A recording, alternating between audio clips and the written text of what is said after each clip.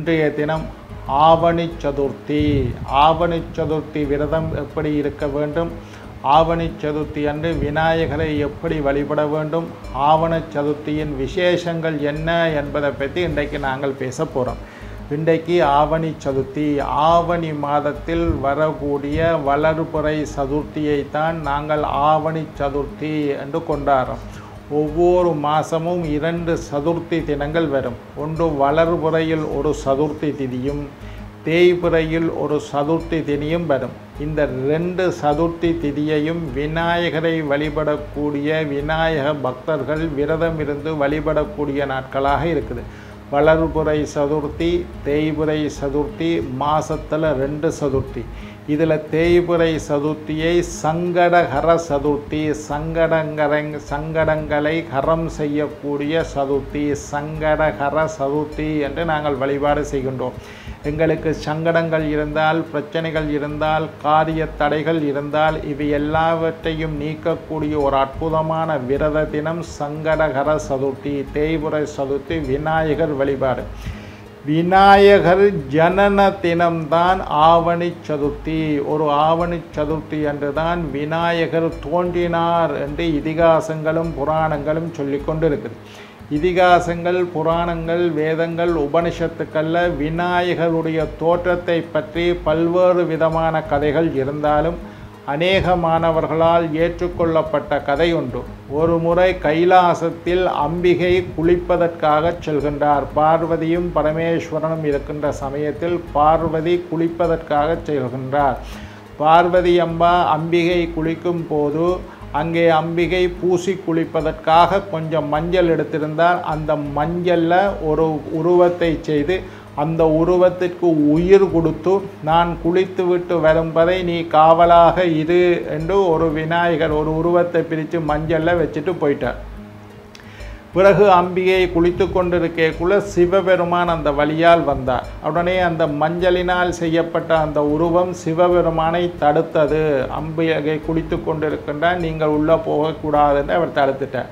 சிவன் எவ்வளவோ சொல்லியும் அவர் விடவில்லை. உடனே சிவபெருமானுக்கு கோபம் வந்து அவருடைய சிரச்சேதம் செய்து விட்டார். தலையை ரெண்டாக வெட்டி விட்டுட்டார் அதுக்கு பிறகு அம்பிகை வந்து சுருக்கமாக சொல்கிறான் இந்த கதையை. அம்பிகை வந்து ஐயையோ நான் உற்பத்தி செய்தது என்னுடைய குழந்தைக்கு இது சமன். நான் உயிர் கொடுத்த குழந்தையின கழுத்தை நீங்கள் வெட்டிட்டீங்களேன்னு அம்பிகை பரிதாபப்பட அல சிவபெருமான் பார்த்தார் சரி சரி என்று சொல்லிட்டு தன்னுடைய தேவகணங்களை அனுப்பினார். தேவகணங்கள் எல்லாம் காட்டுக்குள்ளே போய் அந்த நேரம் ஒரு யானையின் தலையை வெட்டி கொண்டு வந்து சிவனிடம் கொடுக்க அந்த சிவன் அந்த குழந்தையிட தலையில் யானையின் முகத்தை வைத்து விநாயக பெருமான் தோன்றினார். ஆவணி சதுர்த்தி அன்றைக்கு தான் இது நடந்தது என்று ஒரு கதை இருக்கின்றது.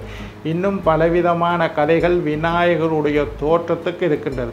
எது எப்படியானாலும் விநாயகர் தன்னுடைய தோற்றத்தை இந்த பூமிக்கு அறிவித்தது அதாவது விநாயகர் தோன்றிய நாள்தான் ஆவணி சதுர்த்தி என்று சொல்லக்கூடிய. விநாயகர் வந்து முழு முதல் கடவுள் மூலக்கடவுள் முழு முதல் கடவுள் என்று எத்தனை தெய்வங்கள் இருந்தாலும் எல்லா தெய்வத்தையும் கும்பிட முன்னுக்கும் முதலை விநாயகரை வழிபட வேண்டும். அதன் அன்றையிலிருந்து தான் மஞ்சள்ல பிள்ளையார பிடிக்கிற சம்பிரதாயம் உருவாகியது. விநாயக பெருமான் எல்லாவற்றிலும் எழுந்தருளக்கூடியவர்கள். ஒரு சின்ன சிலையை வச்சு பூஜை அந்த சிலையில் விநாயக பெருமான் இருப்பேன் சாணத்தில் பிள்ளையார் பிடிச்சா அந்த சாணத்தில் விநாயக பெருமான் எழுந்தருள்வார். மஞ்சளில் பிள்ளையாரை பிடிச்சா மற்ற எந்த தெய்வத்துக்கும் இந்த மாதிரி ஒரு வசதி கிடையாது. சிவன் அதாவது விநாயகர் மட்டுமே எளிமையாக கும்பிடக்கூடியவர்கள்.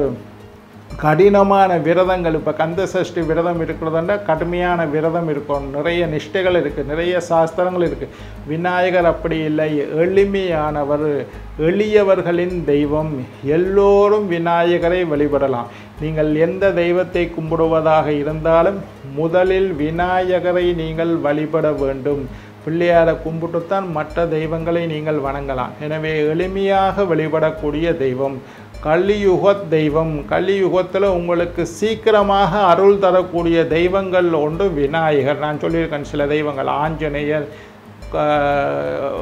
வீரபத்ரர் பைரவர் இவையிலெல்லாம் மகாவிஷ்ணு முருகன் எல்லாம் டக்கென்று வரம் தரக்கூடிய தெய்வங்கள். அதில் விநாயகரும் முதல் இடத்தில் வகிக்கின்றார். மற்ற தெய்வங்களை எல்லாம் சிவபெருமானை கும்பிட்றாண்டா பெரிய கஷ்டப்பட்டு நிறைய விரதம் இருந்து பட்டினி இருந்து ஆச்சாரத்தோடு இருந்து சிவனை கும்பிட வேண்டும். ஆனால் விநாயகர் எளிமையாக உங்களுடைய வசதிக்கு ஏற்றபடி நீங்கள் விநாயகரை கும்பிட்டாலும் விநாயகருடைய பரிபூர்ணமான அருள் கிடைக்கும். இதான் விநாயகருக்கு சிறப்பு. ரெண்டாவது எந்த தெய்வத்தை உபாசிப்பவர்களாக இருந்தாலும் எந்த தெய்வத்தை வணங்குவதாக இருந்தாலும் முழு முதல் கடவுள் மூலக்கடவுளாகிய விநாயகரை வழிபட்ட பின்னர் தான் அந்த தெய்வத்தை வழிபட வேண்டும். எனவே எல்லோராலும் வணங்கப்படக்கூடிய ஒரு தெய்வம் விநாயகராக இருக்கிறார். எல்லாரோட வீட்டிலையும் நான் எப்பவும் சொல்கிறது ஒரு பிள்ளையார் சிலையை வாங்கி வையுங்கோ விநாயகருடைய சிலை வீட்டில் இருக்க வேண்டும். மற்ற தெய்வங்கள் மாதிரி சாஸ்திரங்கள் இல்லை. பெரிய சிலையாக வச்சாலும் சரி சின்ன சிலையாக வச்சாலும் சரி ஒரு சான் அளவில் பன்னெண்டு இஞ்சி அங்குலத்துக்கு உட்பட்ட விநாயகர் சிலையை நீங்கள் வைத்திருக்கலாம்.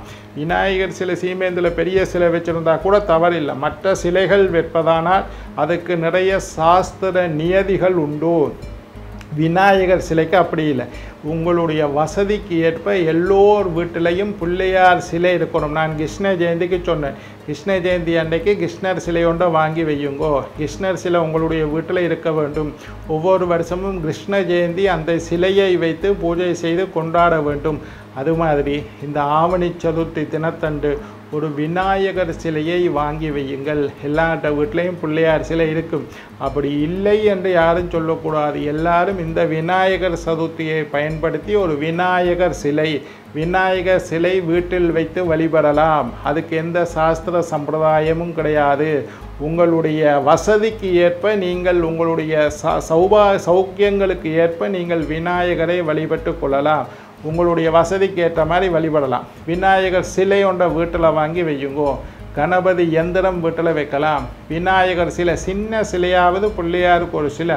அப்படி இல்லை ஐயா எங்கள்கிட்ட எந்த சிலையும் இல்லைன்றா கூட இந்த ஆவணி சதுர்த்தியை பயன்படுத்தி இந்த நல்ல நாளில் விநாயகர் ஜனனமாகிய இந்த அற்புதமான தினத்தில் விநாயகர் சிலை வாங்கி வையுங்க. அடுத்தது இந்த விரதம் இருக்கிறத பற்றி ஒரு பிரச்சனை இருக்குது. எப்போவுமே எல்லா விரதங்களுக்கும் பொதுவானது விநாயகர் வந்து நீங்கள் ரொம்ப எல்லாம் கஷ்டப்பட்டு பிள்ளையாரை கும்பிடணும்னு அவசியம் இல்லை. உபவாசமாக இருக்கலாம். காலையில் ஆறு மணியிலிருந்து பின்னேரம் ஆறு மணி மட்டும் உபவாசமாக இருந்து கோயிலில் போய் விநாயகரை தரிசனம் செய்து அதற்கு பிறகு பலகாரங்களை சாப்பிட்டு உங்களுடைய விரதத்தை நீங்கள் முடித்து கொள்ளலாம். என்னால் உபவாசம் எல்லாம் இருக்க முடியாதையா காலையில் மட்டும் சாப்பிடாம இருங்கோ.